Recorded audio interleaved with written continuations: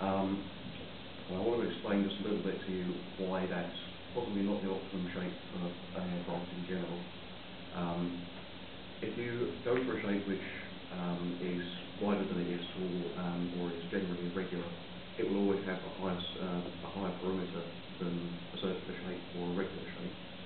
Um, as a result, we've increased our surface area and that should technically increase our drag. Um, what we've uh, done to try and mitigate this slightly, um, and sort of a, a happy side effect of having our engines placed at the back, um, is that it allows us to uh, investigate the use of um, boundary layer ingestion uh, to reduce the drag that we actually experience.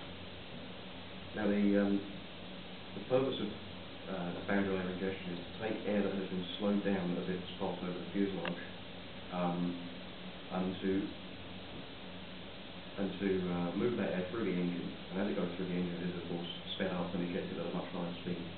In a normal aircraft, the air passing over slows down, um, and as a result, the air behind the aircraft, the velocity profile of that has a weight in it.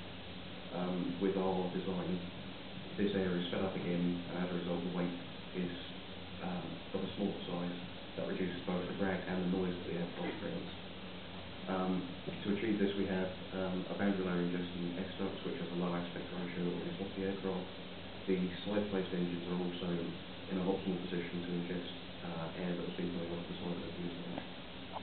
Um, so, yeah, the, the overall purpose of this was to reduce drag. Although it hasn't been investigated in detail, it is a happy side effect of the aircraft, uh, the aircraft configuration being the way it is and hopefully a selling point that will allow us to be competitive in fuel consumption. Um, I'm going to hand over to Wim now to talk a little bit about the mass use within our aircraft. One of our major design drivers was fuel efficiency. One of the ways we could improve fuel efficiency was by having a lighter aircraft.